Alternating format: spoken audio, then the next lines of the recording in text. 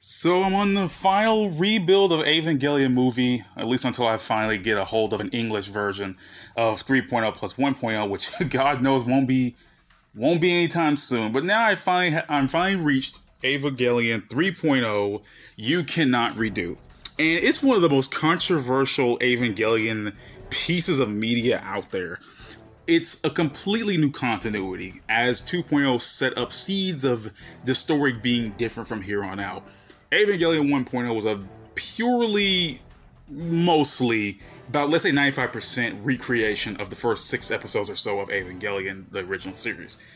Ava 2.0 kind of skews off and becomes its own original thing at the end, and characters start to become different. Like, for example, Asuka Langley Shikinami now exists. Uh, she's not the same character as Asuka Langley Soryu, etc., etc. So now 3.0 is its own thing, and some people did not like it like I feel like fan opinions on this movie are split down the middle. Either people like it or people don't like it. What do I think? I don't hate the movie, but there are some things that are really odd about the movie. Like really, really odd. And I get that this, this movie feels more like a setup to Ava 3.0 plus 1.0 than its own like solid movie. It feels way too much like a prologue to that movie, and I think that kind of hurts it in the long run. They drop a lot of terminology and stuff in this movie that will most likely come into play in 3.0 plus 1.0, but we don't know that. At least, yeah, at least I ha- I haven't seen the movie. You know, the movie's been in theater. There's no version of it out on the internet, so you know, I haven't seen the movie. I haven't seen 3.0 plus 1.0 yet, so I haven't seen it, but I have 3.0 feels way too much like setup, and I think that, that just really hurts the movie, you know. So let me, let me just I'm gonna start from the movie from beginning to end talking about it. Uh, as I mentioned before, it's a completely different continuity, so anything I say uh, will not translate over to like the original series, at least all too much. And I will say this spoiler warning, you have been warned. If you have seen this movie already, please, you know, you can watch the video if you want to. If you haven't seen the movie yet, I'm just going to drop nothing but spoilers because I'm just going to talk about the entire movie. I'm, I'm just wrote down no, notes of the movie because I just seen it like 10 minutes ago for the like the fifth time just to try to get it into my head. So the movie starts off with the the, the characters up above the high um high atmosphere of, of the Earth. Asuka's up there. Also, Mari's up there, and Asuka is fighting with an fighting an angel with an anti AT field. Now, the only characters we you know well, I guess, well, the only really things we've seen in the series of Evangelion before this uh, that had anti-AT fields were, I think, just the mass-produced Evas. I might be wrong. Um, but yeah, so he's up in space fighting against these core blocks. I, they're, they're, I think they, they call they're still angels, but they're different kinds of angels. You know, they're like they have something called core blocks now, and I'm wondering, okay, what's a core block? You know, it's it's kind of weird that like it's a, it's like it's like a new thing. So Asuka also has a new eye patch, and we know that she has that over the events from the previous movie.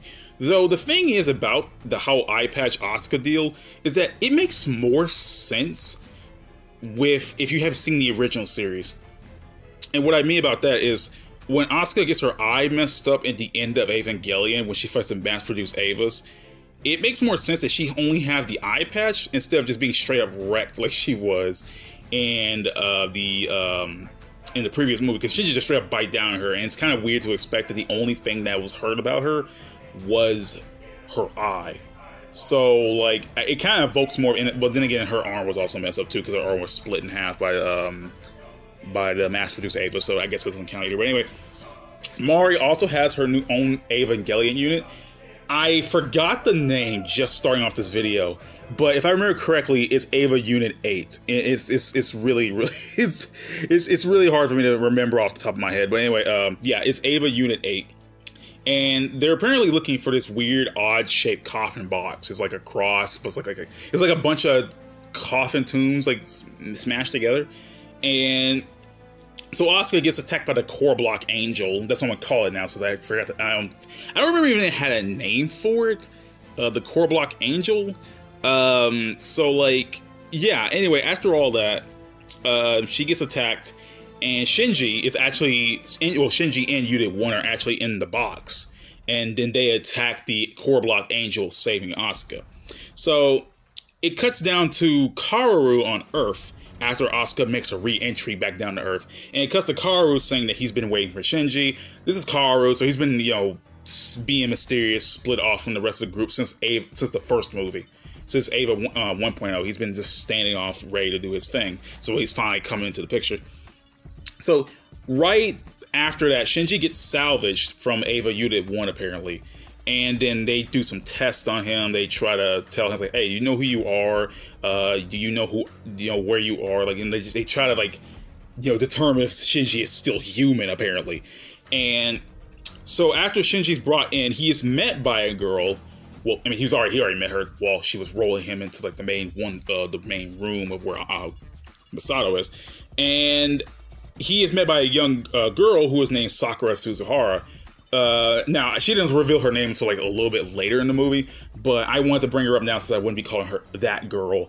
Uh, yeah, Sakura Suzuhara is actually Toji's sister, and we had actually seen Toji's sister in the flesh in the original OG Evangelion series, but we did see her in Ava 2.0 where it shows like a scene where Toji was hugging on his sister, and you know he was happy that she was well after being injured by uh, Shinji's Ava.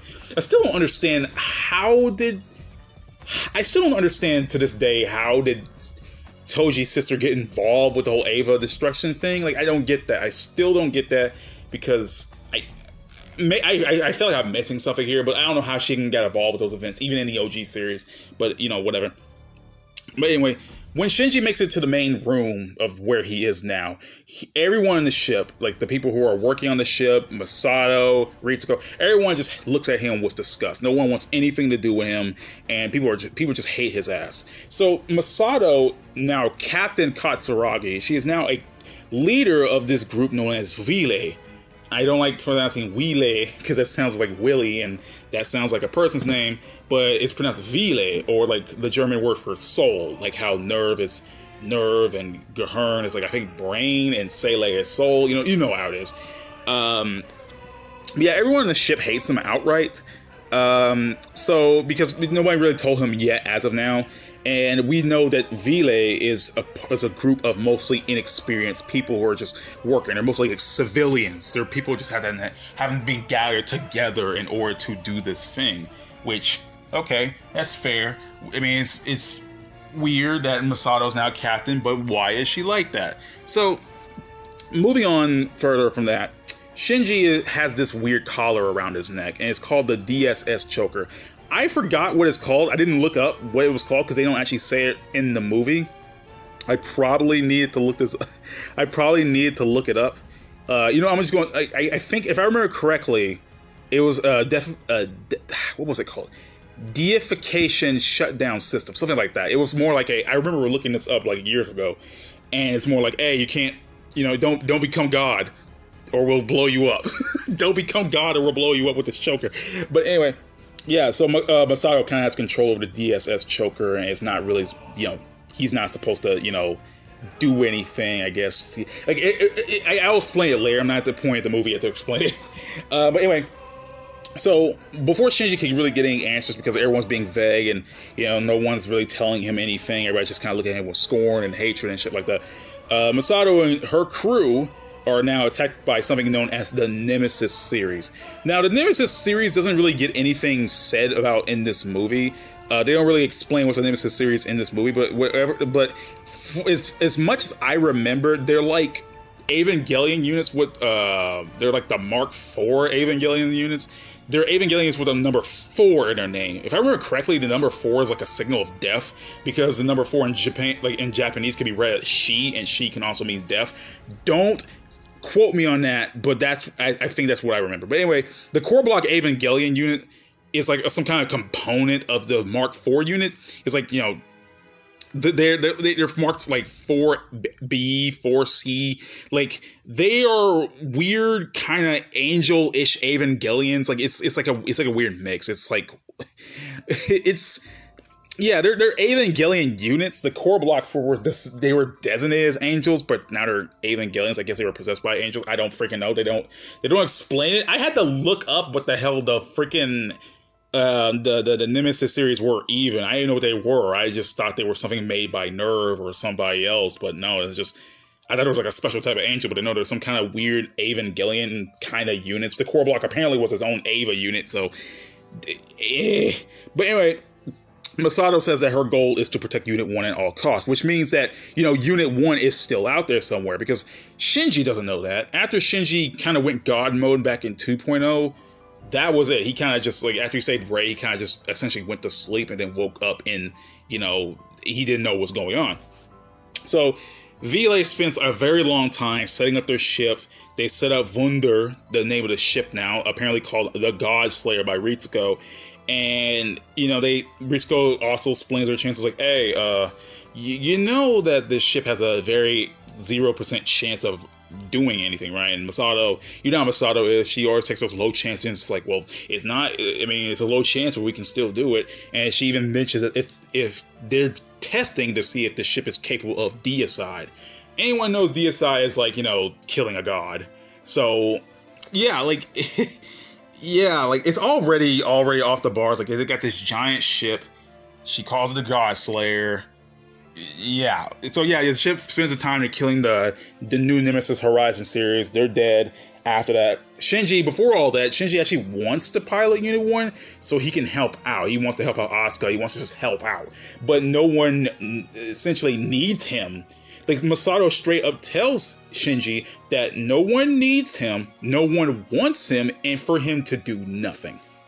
So yeah, Shinji is wondering why. Why would you not let me pilot the Eva? Like, like the thing about Shinji is that you know he was obviously reluctant to ever pilot the Eva because he feels like you know that's the only purpose he would have. But you know now he wants to pilot it to help out people, and Misato straight up says, no, you can't do it. Do nothing, Shinji. No one needs you. No one wants you. Just sit here and do absolutely nothing. Go away. So shit like that. So Later on, after the whole uh, Nemesis Horizon beatdown shit, Ritsuko explains to Shinji that Unit 1 is being used as a power source for Wunder, which is why they don't need him as a pilot anymore. There's no reason for him to pilot Unit 1 because it's a power source. So Shinji also now has a 0% sync, sync rate with any Evangelion units, so he couldn't get an Eva to move even if he wanted to. Ritsuko goes on to tell Shinji that the DSS choker will essentially kill him if he tries to awaken. Now, for those who don't know what they mean, it's obviously when he went God mode back in 2.0. And that the choker is a symbol of the distrust that they held for Shinji. Now, I have a few issues with that. On one hand, I get that they're trying to prevent Shinji from awakening in an Ava, but the only thing they really had to do was just prevent Shinji from getting into the Ava, you know? Like, they already had Shinji in their captivity they didn't need the DSS choker. They could just keep him away from an Ava like they were already going to do. And they, they said, oh, this symbol, this choker is a symbol of distrust that they had for you. But like, they treat Shinji as if he did this on purpose. They treat that's what I don't like about Vile in this case. They kind of treat Shinji like like I get what they're going for. They don't want Shinji to awaken an Ava, but like what they're but at the same time, like it, it makes no sense because they could easily just prevent him from getting in near an Ava. To be honest, they only had two Avas on hand anyway. The one used by Asuka, Unit 2, and the Unit 8, the one used by Mari. So like, there was no need to have like it, the the DSS choker because that feels like overkill.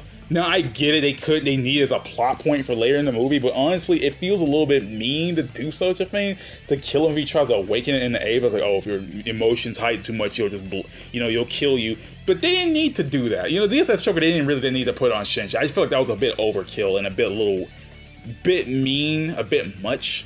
But whatever. Again, they could just kept him from an Ava. I mean, they couldn't because later on, I'll mention what happens later on. But anyway. So they dropped the bomb that Shinji has been apparently asleep for 14 years. He has been like after he had saved like uh well quote unquote saved Rei, I'll get into that in a minute. But after he quote unquote saved Rei after the events that caused third impact, he went to sleep and he's been like stuck in Eva Unit 1 for over 14 years.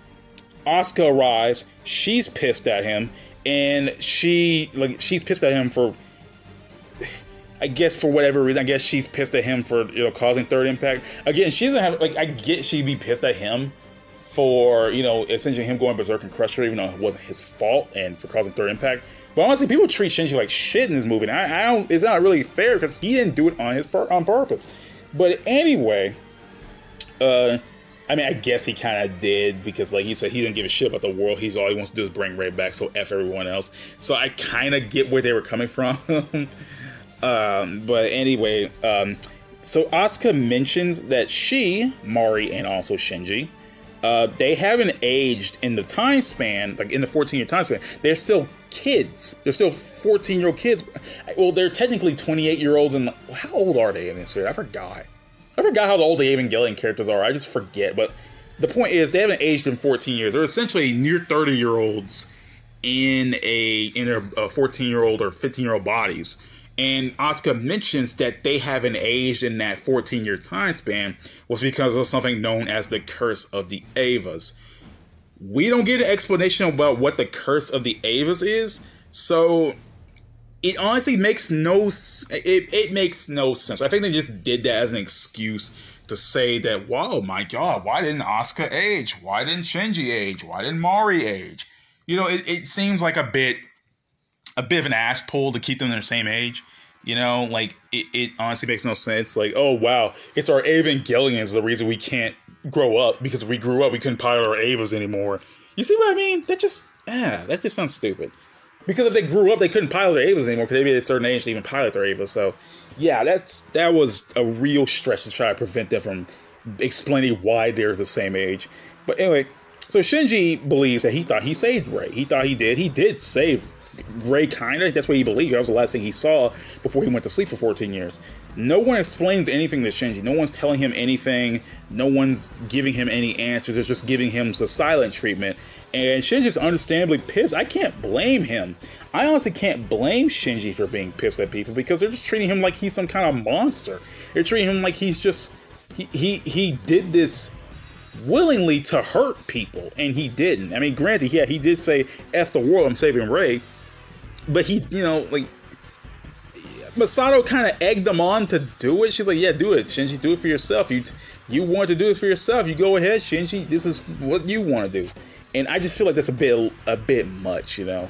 Like honestly, I, I again I get I can get why they would act like this because like you know they don't want Shinji to go all you know God mode again, but at the same time like well damn guys you gotta kind of have to like it's a little bit much you know like you're, treating like shit and it seems a little bit unfair in a certain sense, but. Anyway, no one explains anything to Shinji. It's honestly a little bit mean that he explains shit to Shinji. But anyway, they don't. I guess. I guess technically they don't really have to.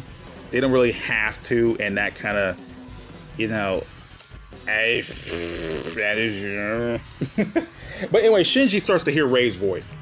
And he's like, "Oh, Shinji Ikari, where are you?" Shinji's like, "Oh shit, guys, I hear Rei. You guys hear Rei? You guys anybody hear Rei?" And then she just bursts in, you know, bursts in to save him. Uh, well, a Rei, You need one person to save him. And what gets me is that this plot point kind of comes like like like there's something later that happens in the movie that kind of ruins this part for me. But anyway, uh, Rei comes in. She saves uh, Shinji, and Rosara reveals the whole thing. She reveals that they're Vile, uh, that their group is meant to destroy all of NERV's Avas. They're going to destroy NERV, and she, she's not explain. She's not really giving anything to explain to Shinji to try to calm him down. Shinji's understandably pissed, and he straight up leaves, and I get that. I totally, I kind of get that you know, I I kind of get that, man. Like it, it just it, I can't blame Shinji. If I was stuck in this weird world and no one told me anything, I would understandably get pissed and just get angry out of nowhere. And it just uh, but anyway, but anyway, uh unit uh, 0 saves Shinji. And Mari comes in to try to, you know, stop Unit 0. She blasts um, Unit Zero's head clean off. And then they apparently this new Unit Zero is called the Vessel of the Atoms, and then apparently that his head can regenerate, even though Rei should have been in the cockpit, in the head cockpit. So like, they say the, the name Vessel of the Atoms a lot in this movie, and you still have no friggin' idea what the hell it even means. Like, even, like, I have to look up shit and understand what it means, but I'm not, I'm not gonna look up anything for this movie. I'm going to keep it clean as if I've heard it from the movie. I wrote down my notes. I watched this movie a good amount of times to know what the hell's going on here, and it just, it, it, mm, it, it just, it, I got none. But anyway, so after all that, Shinji gets taken away, and then obviously there's the DNS choker. Uh, Misato could just easily press a button and just kill Shinji right then and right there. But she could, she, right as Shinji got out of the range, she just couldn't bring herself to do it. She was like hesitating to push the button and kill Shinji. So you can tell that Misato still cares for Shinji in some sense, but it's not like it's more like a like a vague like yeah she still cares and she wouldn't kill him outright because that would just be completely out of character to Misato to straight up kill Shinji like that. But I, am glad they put that scene in because it, it, made like Misato's been like nothing but just straight up mean this entire time and it's kind of it's kind of effed up. So anyway, they um so they are taken back to NERV HQ. The NERV HQ and the Geofront are just wrecked now, right? It's just completely wrecked. Uh, Shinji has met up with Gendo again. Gendo now has like this visor. He has like a visor like Keel Lorenz had, the dude who was the chairman of Seele back in the original Evangelion. So I guess kind of Shinji, I guess Gendo kind of takes his place. Gendo says, "Hey, look, bro, there's this new Evangelion unit called uh, you, you are gonna be in, um, the new pilot along with this guy Kaoru. I'm gone." So like it's so weird. Like, it's like first of all, now got more um, two pilots now and like there's this Ava, okay, so it introduced later Ava Mark 13, right? Which is a double entry plug system, which means two pilots can get inside the Ava and make it move. And I thought it would be a weird ass pull, but I thought about, yeah, it's been 14 years. You know, Ava technology must have advanced further than that since then, so I can kind of get that. Um, but anyway, Shinji meets this meets Rei. Uh, Rei has now a black plug suit. Shinji tries to talk to her, and the fans call this Rei Rei Q because you know nobody knows what the hell to call her. Um, so Rei Q here, um, she's a lot different from the Rei that we normally know. Now Shinji believes that he saved Rei. Like seeing this new Rei, he finally believes like, oh yeah, I, I told you guys I saved Rei. I freaking told you I saved Rei. But Rei mentions um, being very vague. She has no ideas who she is she, well, I mean, she doesn't really. She only really acts on orders. She um, she speaks way less than OG Rei. She doesn't really know who Shinji is or much of anything. Like Shinji even brings up some stuff, and she has no idea what they are. And Shinji gets kind of nowhere with this new Rei. He believes that that's still Rei that he that he saved her, but it's not the real Rei. Like it'll come to later that that's not even the real Rei that you know he uh, he saved uh, saved back in 2.0. He didn't save Rei. And all this Rei Q does is just she sits around, wait for her orders, and calls it a day. And, and that's kind of just oof. but Shinji doesn't know that as of yet. But anyway, so Shinji later meets up with Kaoru again. And they play the piano with him, and they commence the whole gay piano scene that they, people love to bring up. Like the only thing people bring up about 3.0 is the gay piano scene. But I like it in a way that it brings Shinji his own new friend. Yeah, the, the piano scene is really, really gay, but yeah, they, they lay it on thick with that. But it also gives Shinji his own good friend here because everyone else hates him. Everyone, everyone else either hates him or doesn't know him or wants to be vague about shit. So, you know, having Shinji and Kaoru together as friends is a good thing to keep him grounded. So Shinji decides to later go check on Rei Q. Uh, he keeps leaving her books because you know he knows old Rei used to love to read a lot. So he goes on. He's like, "Hey Rei, you know, here's your books. I'll let you. You know, can you read these books? You know, yada yada." So she she she you know he leaves books for her every periodically you know blah blah and he goes back to his room so later on and for whatever god forsaken reason for whatever reason this this is a completely random scene right shinji uh, has like this little thing where they just like they open like a little slot and just passes him stuff. Like earlier in the movie, they passed him some you know paste food so he could eat, and um, so like they passed some clothes through him, and Shinji tries to put the clothes on, and they're like you know really um uh really too big for him, and then he looks on the uh, looks on the tag of the shirt. And he says it's it, it says Toji Suzuhara, so the clothes that Shinji was sent were Toji's clothes and like I'm sitting here like, what? like where did this scene come from? You know, it just came flat out of nowhere.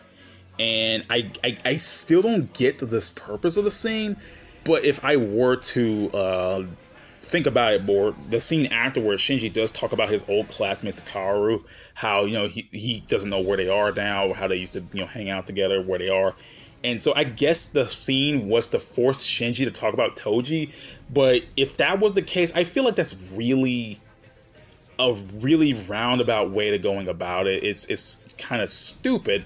Like it's like, hey, look, somehow we have Toji's clothes. Somehow we gave them to Shinji and somehow it led Shinji to talk about um, you know his uh, friends to Kaoru, and I just feel like that's a little bit of a, a bit too much to try to find a contrived reason to have Shinji talk about his old classmates.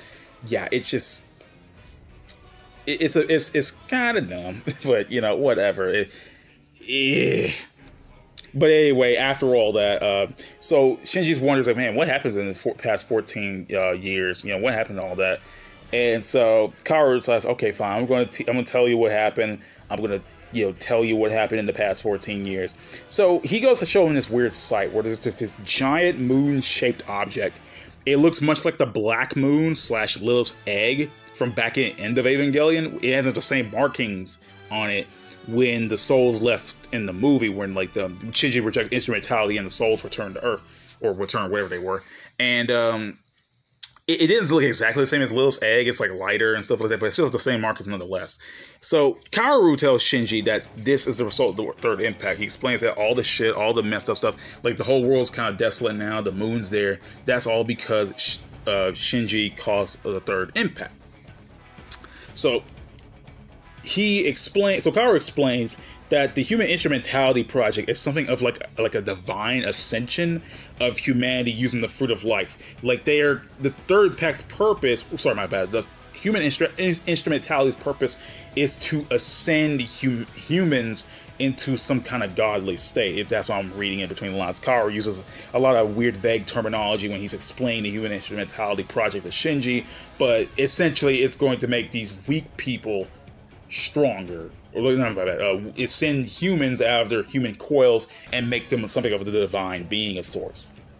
It's so like Kaoru also drops the bomb that Shinji was the one that called the third impact, or how he explains. Some people call it the near third impact, but it's still the third impact because later in the movie they call something else the fourth impact. But I'll get into that in a minute.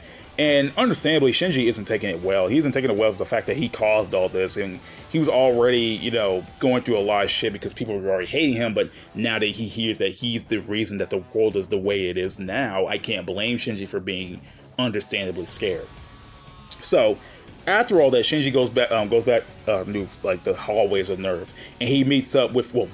He doesn't meet up with Fuyutsuki. He kind of just walks past Fuyutsuki, who was just sitting there. So him and uh, Shinji, sorry, Shinji and Fuyutsuki, they have a game of shogi, and Fuyutsuki drops like a bunch of bombs to Shinji about shit. So he reveals uh, the whole story about Shinji's mom.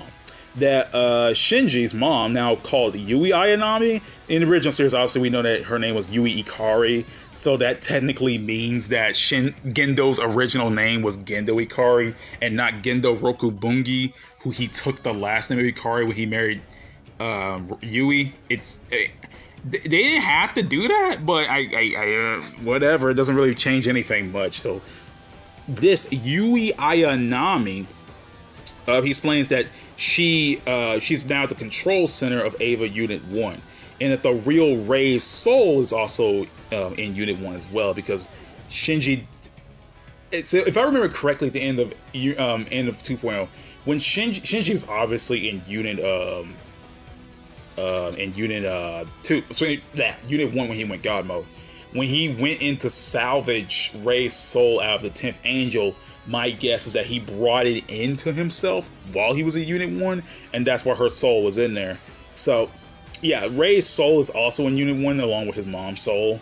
Uh, and then now the purpose of and is also uh, when he sees a picture of Rei, he sees that Rei looks exactly like Yui, and it's funny to me, and then like. And then, and Fuyutsuki explains like, yeah, this is all part of Gendo's plan. Gendo's doing all this. This is all part of his master plan. All of this was his big, huge master tin brained plan that Shinji, you're not, you're part of it. You're part of my master plan. So yeah, Fuyutsuki leads off that. I guess Fuyutsuki just see it's it's kind of debatable if Fuyutsuki did that out of the kindness of his heart that he wanted to just Shinji to know, or that it was a part of Gendo's plan because apparently everything's part of Gendo's goddamn plan. Gendo is more of an evil mastermind than he was in the original series. He planned shit, but he feels like he's like the straight up evil bad guy. Like, oh shit, dude, I'm evil, blah blah blah blah blah. Like it, it feels like just like crazy. Like, uh, hopefully, in you know, Ava, uh, three uh, thrice upon a time, we'll know what the hell Gendo's all about. But anyway. So Shinji's already fragile mind is messed up even further by this revelation. It's messed up by the t- um, like it's like not only he knows that his mom is on side unit one and Rei didn't get saved, which kind of broke what he had left. Not only that his mom didn't get saved, he wrecked the world. The clinging onto his idea that he saved Rei is gone, and now he's trapped 14 years into the future where nearly everyone hates him because of it. And yeah, Shinji isn't doing so hot, and I can't blame him, dude. Like the guy's just already had to suffer through a bunch of shit, and now he just realized that all he's done was for nothing. He destroyed the world for essentially nothing. Yeah, it's kind of effed up. So Shinji goes to meet Rei Q again. Like he's like you know going to confront her because it's like okay, I want to know if you're the real Rei or not. So here's what gets me in the scene that like Shinji's been leaving books about her in the entire movie. So in this scene, Shinji picks up all the books. Right, he picks up all the books that he's left uh, Rei, Rei Q, and then like he stacked them all together like like a really high stack like a like a lot of them and then waited till rei q came in and then dramatically pushed them over to make it to make the scene more extreme when he was wondering how rei q wasn't really um the real Rei. He just did all do it dramatically, and I just find that the most. I find it just the funniest thing in the movie because like it, it, Shinji didn't need to do that, and plus the stack was way higher than he was, so there was no way he could have stacked all those books in the way he was did. So I don't know what the hell that point of that scene was. I don't know. A weird, a weird design, a weird scene choice. So, so Eva Mark III gets revealed. It gets revealed. They pull it out of the thing they were creating it in, and Eva Mark III looks nearly identical to Unit One, just bigger. And it, the differences become a lot more crazier later. Uh, Kaoru manages to convince Shinji to fight in Eva. And Shinji, Shinji's like, dude, like I already played in this Eva. I kind of, I already fought in this Eva. I kind of don't want to do it again because you know if I do it, I'll just why I do all this. Kaoru manages. To, I'm sorry, I keep burping. I'm sorry. Sorry. Anyway, Kaoru to convince Shinji to pilot with him in Eva Unit 13, and Kaoru even takes the DSS choker off of Shinji's neck. He apparently knows how to take it off, and then he put it on himself.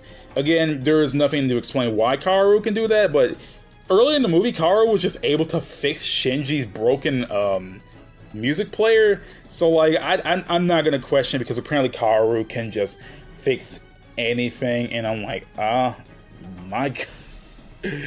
oh my god. So anyway, the goal for Shinji and Kaoru is to pilot Unit 13 so they can go down to Central Dogma to retrieve two spears the Spear of Longinus and the Spear of Cassius. And that with those two spears, they can use to save the world.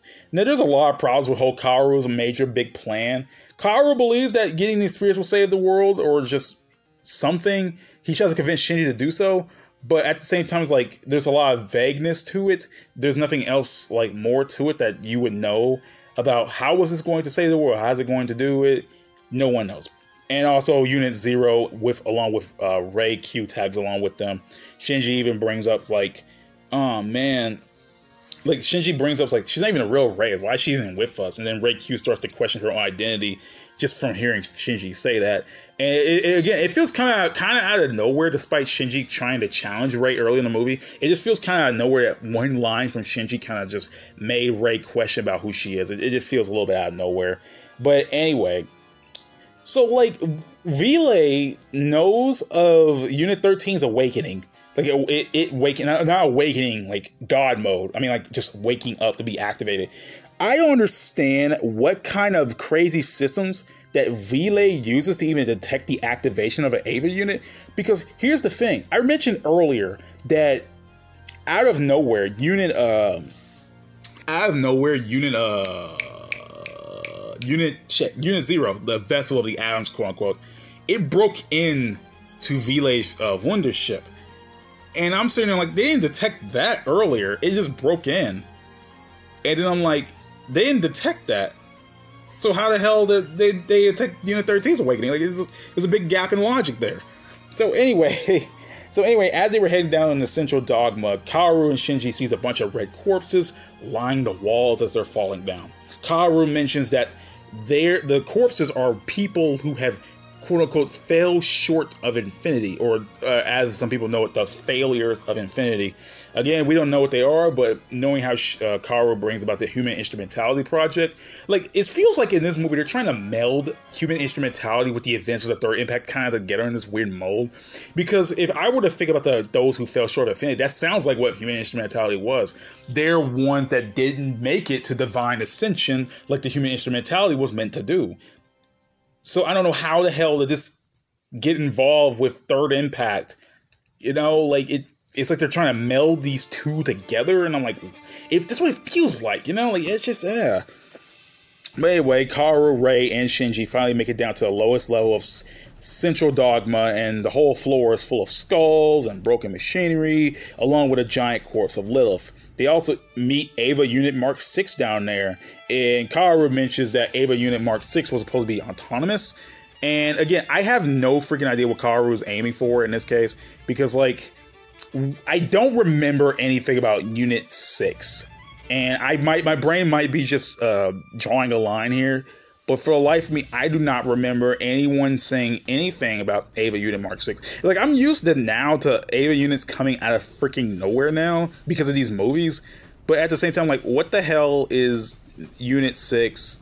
What like what is like where did this come out of nowhere? But like if I remember correctly, seeing it it was the very it was the unit that Kaoru showed up in um, in at the end of the first Evangelion movie. It's like an, it's like an unfinished uh, version of it because like if I remember correctly, it was the same unit that was being built on the Tabgha base on the moon back in Eva 1.0, and then uh, uh, Kaoru gets in it on Eva 2.0, and then he starts the third impact in 2.0. So I get it, but I have no idea how it ha- how it ended down there in Dogma and what happened to it. You know. Like it, it, I remember them mentioning that the uh, Mark Six was like the true Evangelion. It was supposed to like fulfill some kind of covenant with Lilith, and that Fuyutsuki even mentions that they were that Seele were trying to create a real god using Unit Six. Again, I, I, don't I don't get it, but Unit Six does play a part in this movie, so I guess that was the purpose of it. Anyway. Uh, anyway, yeah, it's be autonomous, which I find weird. If Unit 6 was meant to be autonomous, why is Kaoru the one piloting it? You know, like, that's what...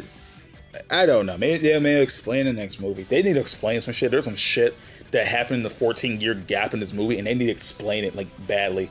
But anyway, once they get to the spears stuck inside Lilith's body, Kaoru notices something that is really off. He explains that the two spears, uh, Longinus and Cassius, have shifted in form to the point that they match each other, to the point that they're one and the same.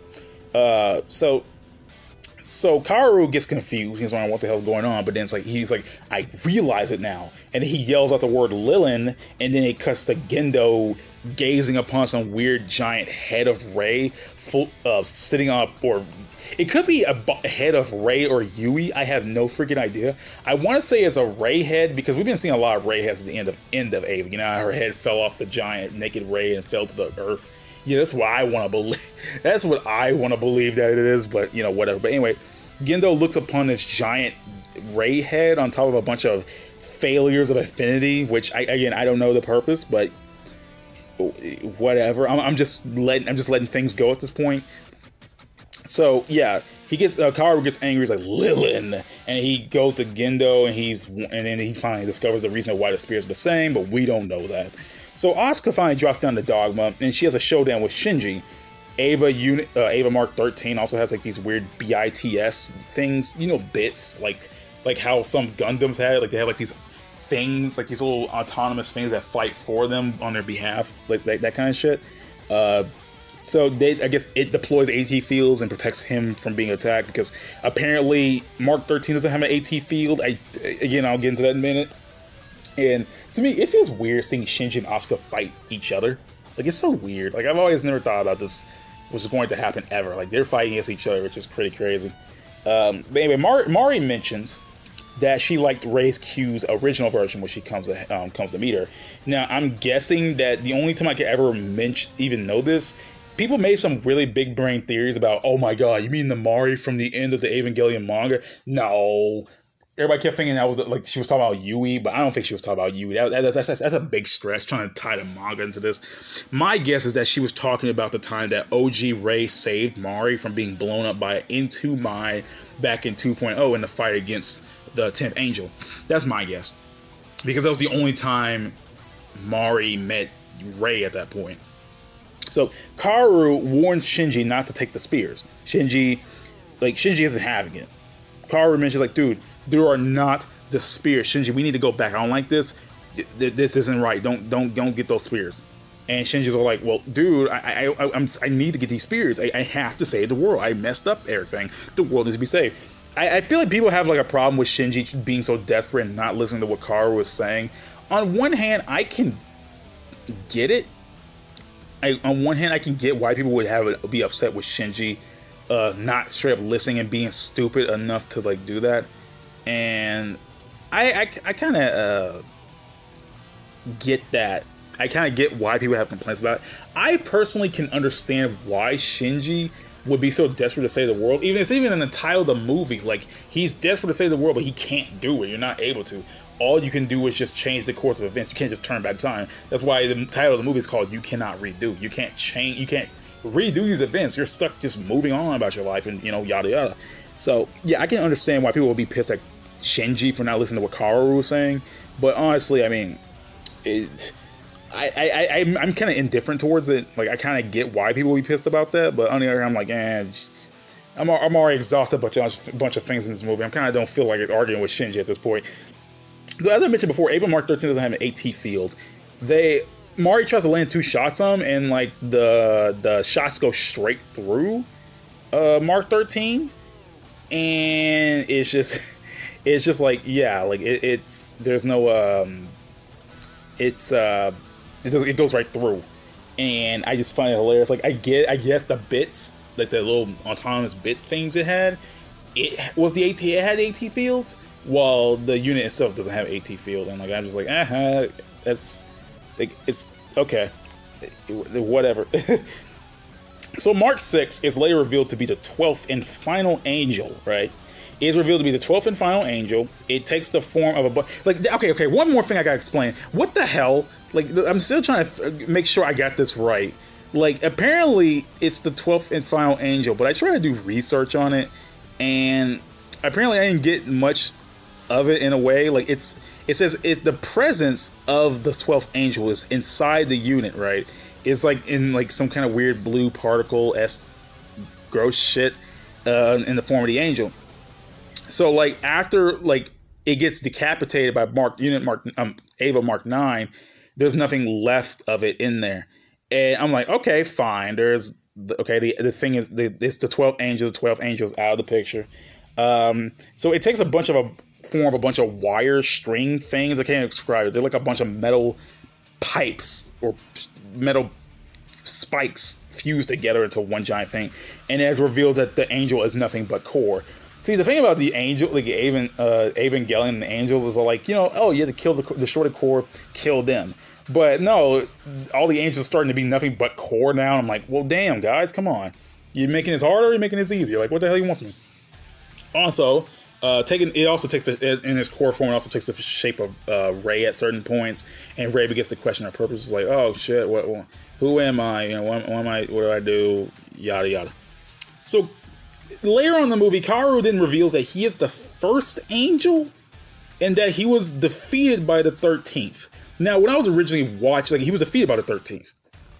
Right. So, he mentions explicitly, oh, I was the, uh, what did he say exactly? I'm trying to remember what he said exactly. He's like, oh, I'm the, um, I'm the first angel and that I was utterly defeated by the, uh, the, thir- uh, the 13th. And it maybe, it, it confused me for a bit, right? it confused me because like okay okay Kaoru being the first angel I could accept that maybe but then he says he was defeated by the 13th So I'm like, okay. My, my first thought was Gendo. My the immediate first thought was Gendo because Mark Six was classified as the twelfth angel because he wasn't he wasn't he wasn't talking about Mark Six, right? So my guess is that he was referring Gendo. So then I thought I was like, but that makes no sense because Mari mentioned that the thirteenth angel doesn't exist. It shouldn't exist, and then it cuts back to Gendo and talking to Seele. But no, Kaoru also mentions that he is he. Not only is he's the first angel, but he's also the thirteenth angel at the same time. He mentioned earlier that oh, the beginning and the ending are one and the same. I'm the first and the thirteenth angel at the same time, and I'm like, what? Again, it makes no sense, honestly. Like I try to like, like I try to watch the movie again to try to figure this out, and it didn't, it didn't, it didn't, it didn't help. Like Thrice Upon Thrice Upon Time is out, so I don't know if they explain that. Honestly, I really don't want. I, I can just read spoilers all day long, but uh, I kind of don't want to but yeah, he, he he explains that not only is he the first angel, he is also the thirteenth angel. And I thought, okay, uh, maybe he's not the thirteenth angel. Maybe it's the it's the uh, Eva Unit Mark thirteen. Like that that was that was my thought. Like it, it, it, that was the first thing that came to my head well, not well, the Gendo thing came first, but like that was the second thing that came. I was like, okay, fine, whatever. Kaoru is both the first and thirteenth angels, whatever. I don't care anymore. So yeah, what the hell? Eh, whatever. Anyway, so Shinji commences third impact. Well, sorry, my bad. Fourth impact. Shinji commences fourth impact because the chambers of Guf are opening, and uh, Shinji begins to go God mode uh, yet again. Well, third, Mark, Mark 13 ascends to God mode, and for whatever reason, Mari calls it a straggler Adam, and I have no idea what that even means. Like, oh, it's a straggler Adam, and I was like, what is it? Why does everybody keep throwing the name Adam around, bro? Adam's not even in this continuity because like Gendo doesn't have him. Instead of the uh, the key of Nebuchadnezzar, they called the new unit Mark Six an um, vessel of the Adam, and now straggler Adam. Okay, whatever. God damn it, I hate this movie. Anyway, So God Mode Mark 13 is attacked by Wille. And once again, Unit Zero is called the Vessel of the Adams. Ritsuko says that Unit Zero wants Unit One and that it is the original Master of Wunder. And I just, I, I, I have no idea at, at this point. So they mentioned that Unit Zero wants Unit One for some reason and that it is the original master of Misato's ship, the Wunder, I legitimately have no idea what what's going on anymore. Just it, it, they're just throwing shit now, and I feel like they're just doing that shit to explain later in the 3.0 plus 1.0.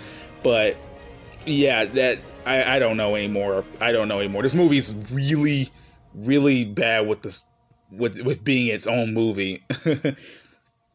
uh, anyways, C- uh, Seele also manages to take control of the vessel of the Adams and then when the vessel of the Adams, Unit Zero, gets onto Wund- onto uh, Wunder, it takes control of that ship as well. And again, I don't know. It's still like it's still through like the Angel. I, I don't I don't freaking know. Moving on, moving on. So now Asuka is able to unleash the beast mode of Unit 2. And as I mentioned before in my 2.0 video, what is beast mode? What is beast mode? And it's even it's even weirder in this movie because Asuka's version of beast mode takes the form of a cat. It has paws and the it has paws on the and everything and tail. And i'm like what the i think it even has ears if you look close enough. And i'm like why? What the fr-? like Oscar had like a cat hat on earlier like a hat like a hat with cat ears on it. I have no idea what's going on in this movie. I don't know why unit 2's beast mode is a goddamn cat I, I've lost all, all, I've lost all comprehension. This is dumb. Like the near the end of this movie, shit is just happening.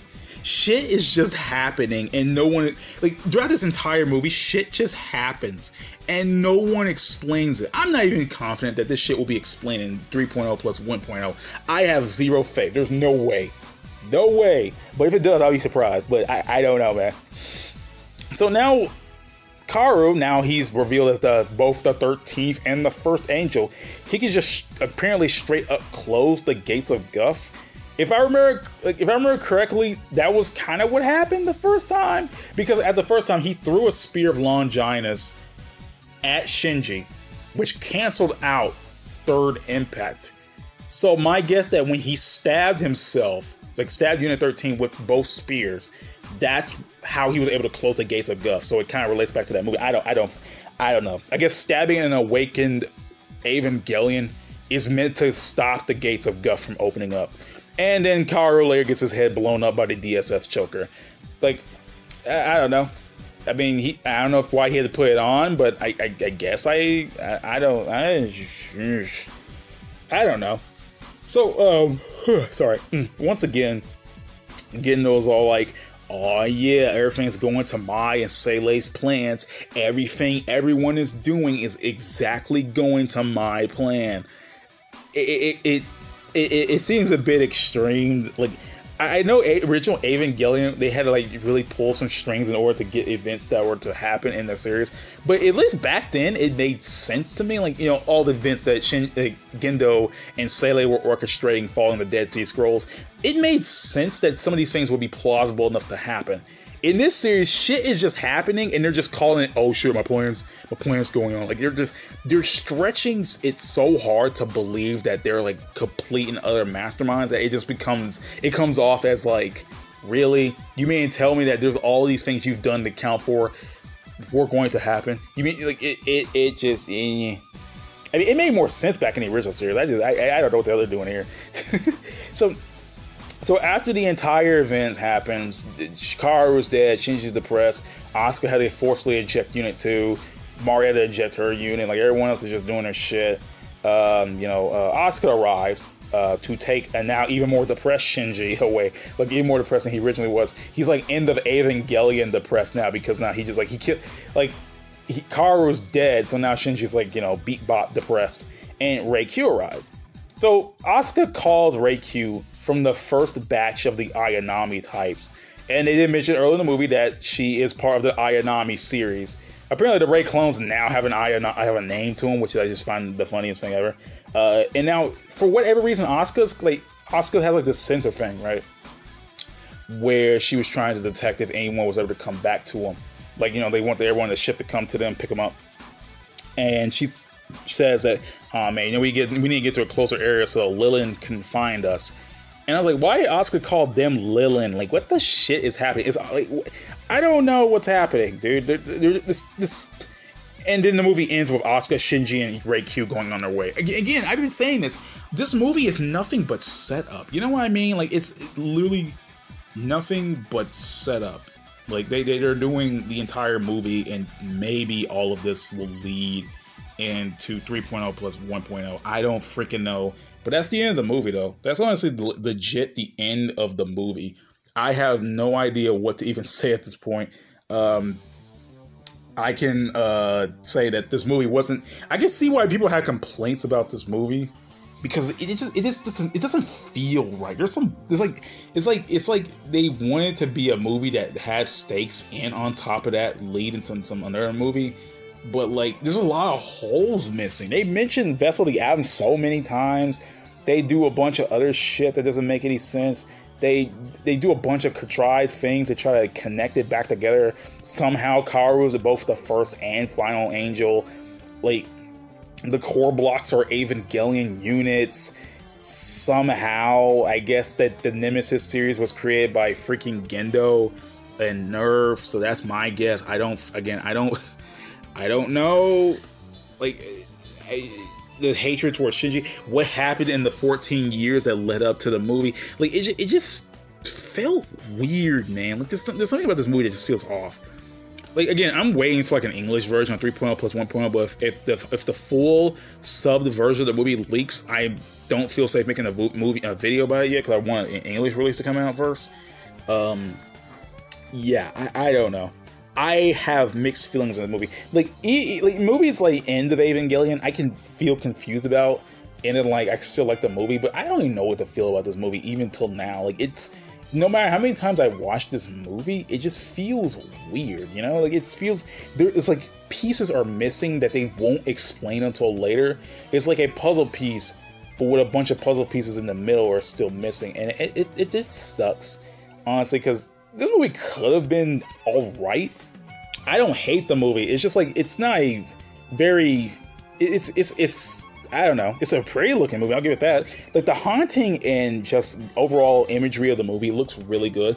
Backgrounds look really good. The desolate nature of the world looks really good. The action scenes look really good. Uh, Eva, Unit Two turning into a cat was really, really just pushing what they what they can do with Evangelion units.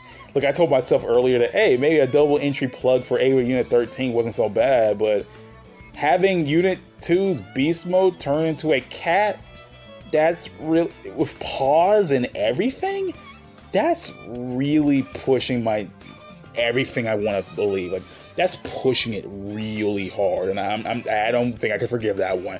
Eva Unit turning into a cat was really stupid, and I'm never gonna get over that one. Not the worst thing, but why? You know, like why? I, I, uh, but yeah, Shinji, act, you know, Shinji was decent. Shinji was like was understandably shooken and screwed up throughout the whole movie. I didn't like how Wille was portrayed because it did feel like they were a little bit too mean on Shinji. Like the like I get they were pissed about all the shit that happened prior, and yeah, Misato did egg Shinji on to try to you know say, hey, do this for yourself, Shinji. But to be pissed at him at the end of the day because of it, like I know she's been hardened over the 14 years about dealing with NERV and all the other crazy shit. But honestly, they didn't they they didn't have it. They didn't explain why Wille separated from NERV. They didn't explain how Wille separated from NERV. They didn't explain anything. Not in the movie. I don't know if they did that in supplementary supplementary material. Honestly, I don't know, but I feel like that should mess with my you know perception of the movie because like I'm like it, will still be the same. Like I have no idea. It doesn't matter how many stuff, how much stuff I look up about the movie. I try to like understand some shit. Like the only understanding that I gain from Wille is that like it's an organization that they're they're banding together to prevent any future you know impacts. No more impacts. They apparently that the government, the NERV disbanded after the third impact, and you know the rest of the NERV members that wanted to come together to Misato, they've banded together to create Wille, and like I, I don't know, I don't know how they managed to create Wunder. I don't know how they managed to use Eva Unit 1 as a, pow- a power source. I don't get that either. Why is Unit 1 a power source? You know, like are they like they call it the God Slayer, so my only idea of what that is is that they used a, like okay, so Eva Unit One ascended, right? ascended, so they're using the godly power of the unit unit one to ascend, like to use in Wunder to make use his power. I don't know. But you know, with that, Wunder can deploy an AT field and everything. So that's my guess. They're using like the Eva's powers in Wunder. So technically, it's like a like a proxy Eva, but as a ship. If that's my guess. I don't know. It honestly doesn't matter. It honestly doesn't matter. I I, I don't know. yeah, this movie's weird. Even after all this time, this movie's weird. It's not like I hate it. Like a bunch of people, utter, a bunch of people hate it. But like during the latter half of the movie, shit just happens. You know, like again, I don't like the I don't like Wille's portrayal. I don't know any of them by name. Like I would have to look them up, and I'm not doing that for this video because there's no point. You don't see much of them. I know that characters like Hyuga is still there. I know character like it, it, but it ain't the same. You know what I mean? You know, Ibuki's still there, Ritsuko, uh, Misato, like they're all still there. Uh, but it, it, it just feels a bit weird. You know what I mean? I don't know what to think at this point, but um, yeah, this movie's weird. This movie's weird. I don't hate it like other people, but holy shit, there's some problems. Uh, I will say something positive about the movie though. Shirou Sagisu's music essentially like was like the best thing about the movie, other than like the actual animation, the CGI, and the shit that was looked really good. Shirou Sagisu's music, he has the best. Like this, this this movie has the best lineup of tracks in the entire series. Like Betrayal, Carnage, Dark Defender. He even did redid from Beethoven's Ninth, uh, God's Gift, God's Messenger uh, what was this? It will mean victory. I think keep your head above the mayhem. No, keep your head above mayhem wasn't part of this movie. No, it wasn't. Um, uh, what was else the other movie? Uh, Return to Ash, uh, Scarred and Battled, The Anthem. Uh, what was the other movie? The Ultimate Soldier, The Wrath of God in all its fury, Trust, and I think that was all the. I think that was all the. Uh, all the all the songs that I really like. There's a bunch of other like songs in the movie that are really good, but those are the main songs that I really like because they were really really good orchestral pieces. And Shirou Sagisu does an amazing job. He does an amazing job in every series he does, but damn, this like this is like a really good soundtrack. Like I had more songs to pick out of this one soundtrack that I did 1.0 and 2.0. So yeah, really good damn good soundtrack. But yeah, uh, as for my closing thoughts of the movie, I don't know. And I've never been this unsure in my life. Honestly, this movie's. I have no idea. I, I don't follow the people who praise this movie, the you know hell and back, but I don't. I don't necessarily follow the people who hate this movie and call it the greatest sin of Evangelion. No, I, I believe that this movie was weird in the sense that it it was too much lead up. You know, it felt like it definitely was a lead up to something, but you know, we have to wait until the next movie. And 3.0 plus 1.0 is out in Japan. It's been out. And spoilers are all over the internet. People haven't don't have video spoilers, but I I would rather see it in video than read off of, off the wiki or something like that. I might just read off the wiki because I really am curious about what happens in the movie, and I, want to see it for myself. Because I, I did get spoiled and saw the ending of the movie, and I won't say it. I won't say it at all, but I did see the ending. But as of uh, this video, I will just end it right here. I will see. Well, okay. Oh my God, it's been an hour since I've been talking. Uh, this is way longer than my other videos. Um, but yeah, I, I will see you all next time for whenever 3.0 plus 1.0 comes out. So see you all next time. I hope you have a great day peace out and peace out Evangelion 3.0. I really don't want to talk about you anymore, but hey, we need an explanation about a bunch of these things. What the hell is Wunder? Why is Wille doing this shit? What's what happened in the 14 year time span that Shinji was asleep? Um, you know, like what? Explain all this. You know, all, all the shit I had complaints about in this video. I want an explanation. All right, Kaizou out.